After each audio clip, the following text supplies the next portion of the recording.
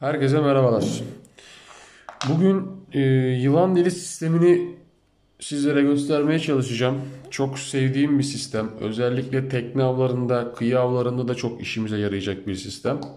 Bunun için güzel bir e, açıkçası bu renkli bir misine kullanmak istedim ki daha net görülebilsin diye e, tırnak makası, klips fur döndü gerek de olacak gerek olmayan sistemi de göstereceğim. İki sistemi de göstereceğim.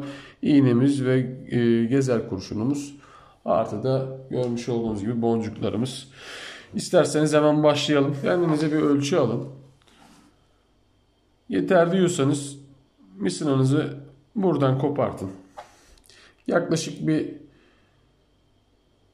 nasıl diyeyim size 50 santim civar bir misine işimizi görecektir. Misineyi dengelemesini yaptıktan sonra bakın uçlarına birbirini eşitleyin. Bildiğimiz standart bir düğüm atacağım şimdi buraya. Bir sürü bir düğümün ismi var.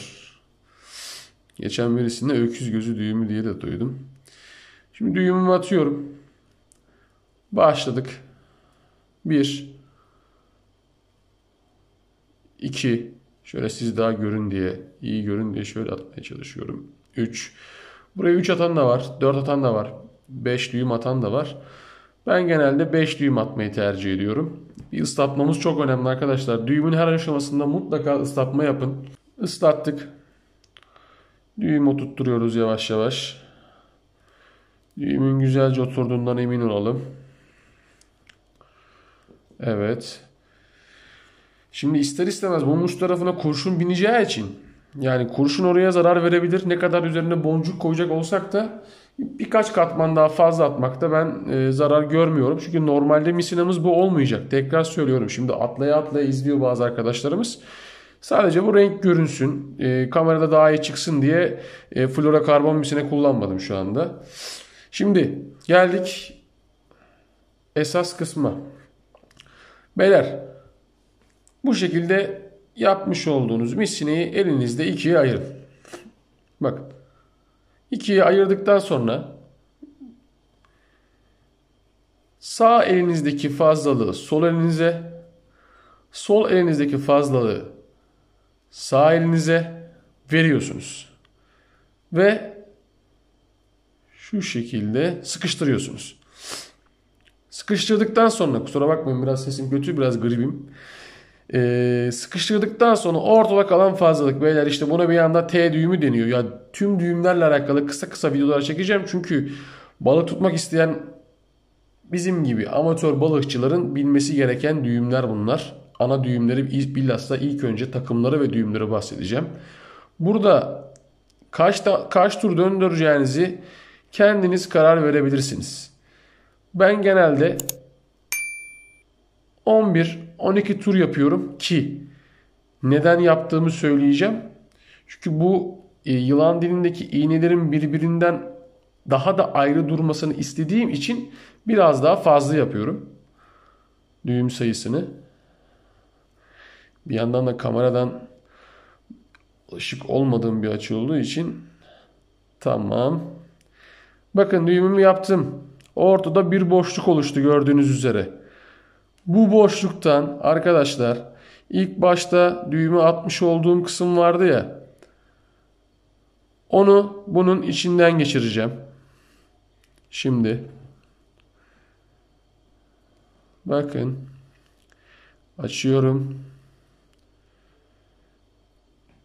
Hadi geçer misin lütfen? Geçirdim. Yukarı doğru kaldırıyorum. Bizim için mühim olan yer zaten Evet. Bakın şöyle göstereyim size. Görünüyor mu bilmiyorum. Bu düğüm yukarıda olacak. Şimdi düğümümüz yukarıda arkadaşlar. Fazlalıklarımız burada. Alan şekilde şu. Şu anda. Şimdi bu aşamadan sonra o fazlalıklardan yavaş yavaş sıkmaya başlıyoruz. Şimdi sizin karşılaşacağınız sorunlardan bahsedeceğim. Sıkmaya başlarken bu çok yukarıda olacak. Burada boşluk olmaması lazım arkadaşlar. Onun için de ne yapacağız? Biliyorsunuz altın kuralımız neydi? Önce ıslatalım. Bir ıslatıyorum. Şimdi yavaş yavaş sıkmaya başlıyorum. Bakın yukarıda sağdan attığımız düğümü kenarlara doğru çekiyoruz. Bir daha başlıyoruz. Bakın çıkıntı oldu mu? Sağ taraftan mı kaynaklanıyor? Atıyoruz, çekiyoruz. Bunu sürekli yapmanız lazım. Yani olay atarken düğümün oturması. Bakın. Düzeltiyoruz, çekiyoruz. Düzeltiyoruz, çekiyoruz. Attığım düğümle ilk attığımın düğümün birbirine tam olarak oturması gerekiyor. Çekiyoruz. Şöyle göstereyim size. Çekiyoruz. Çekiyoruz. Düğümümüzü bir daha ıslatıyorum.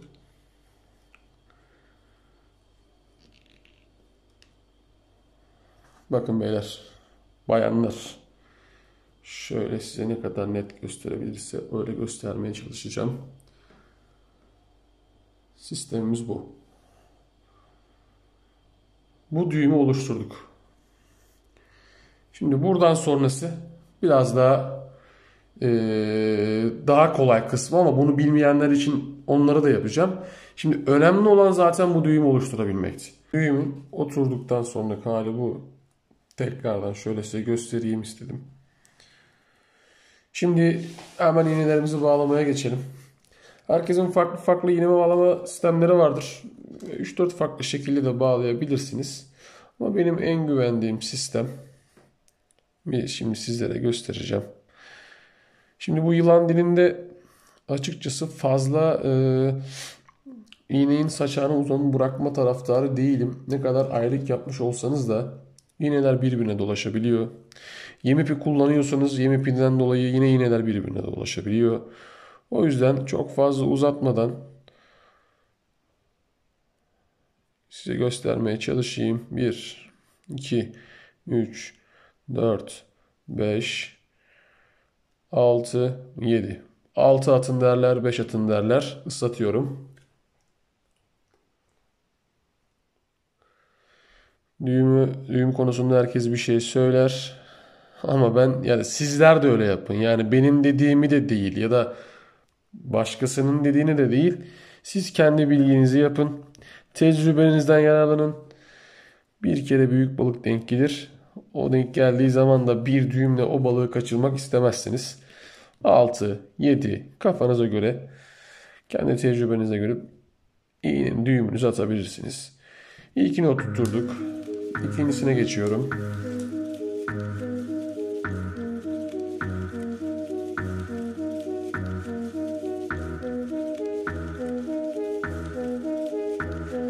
Arkadaşlar e, grip grip olduğumdan dolayı biraz sesim garip çıkıyor. Hem konuşup hem yaparken terledim bile biraz.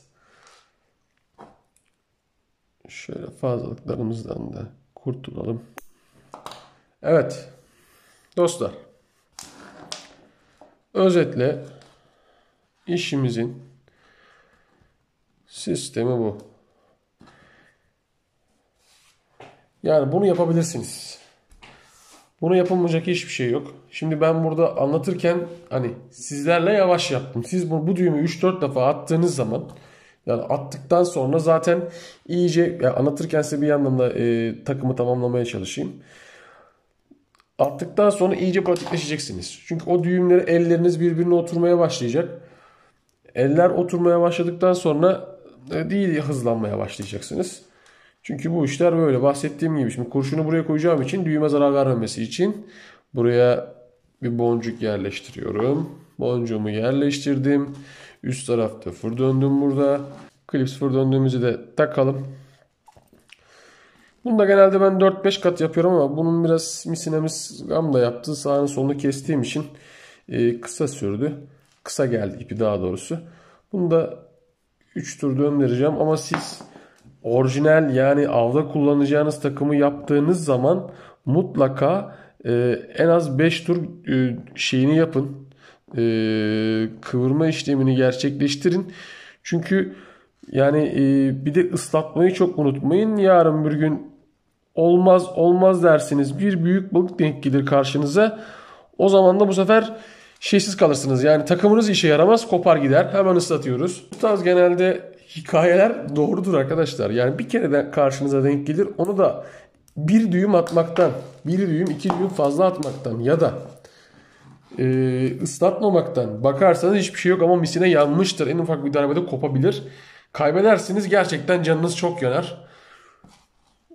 Şu anda takımımız oldu arkadaşlar. Gördüğünüz gibi. Şöyle ben bir tutayım. Siz de şöyle bir de görün. Bakın. Duruşunu görün. Vur döndüğü görün. Oturma şeklini görün. En önemli kısmı zaten bu T düğümünün olduğu yer. Bakın. Buradan da sisteminizi oluşturabilirsiniz. Farklı farklı sistem yapabilirsiniz. Buradan gelen örnek veriyorum şok lider sistemiyle direkt makinenize bağlarsanız arada fır döndük klips kullanmayabilirsiniz. Bu sonsuz gezer şekline getirebilirsiniz. Bunun onlarca açıkçası sistemi var. Burada seçeceğiniz yol tamamen size kalmış. Siz nasıl isterseniz onu ıı, yaparsınız ama burada kilit olan şey T düğümünü bilmek. İlan deri sistemini kendiniz oluşturabilirsiniz. Bu videoyu ilk takım videom açıkçası bu oldu. Bunun olmasının sebebi de şu. Çok kişi bu sisteme nedense bağlamasını bilmiyor ve gidip hazır takım alıyor. Teknede, kıyıda o kadar çok hazır takımdan dolayı e, balık kaçıranı gördüm ki ya gerçekten üzülüyorum. Yani ayda yılda bir defa balığa gidiyorsun. E bir balık denk geliyor o da kaçıyor. Yani hiçbir anlamı yok. Şimdilik bu kadar arkadaşlar. Bir sonraki videomda büyük ihtimalle şok lider düğümünü göstereceğim. Şok lider düğümü çok önemli. Baştan aşağı bir takım düzeceğiz açıkçası. Makineden geleni, şok lideri nasıl yaptığımı, şok liderden sonra sonsuz gezerini biraz uzun bir video olacak ama surf, atış yapan e, arkadaşlarımız için olmazsa olmaz bir sistem. Lideri hangi makineyi zaten kullandığımı daha önceki videolarımda anlatmıştım. Şimdi onların devamını çekeceğiz. Sonsuz gezer sistemi çok önemli bir sistem. E, açıkçası birçok yörede av yaparken verim aldığımız bir sistem. Şimdilik e, bu kadar. Bir sonraki videoda görüşmek üzere arkadaşlar. Kendinize iyi bakın. Herkese rast gelsin.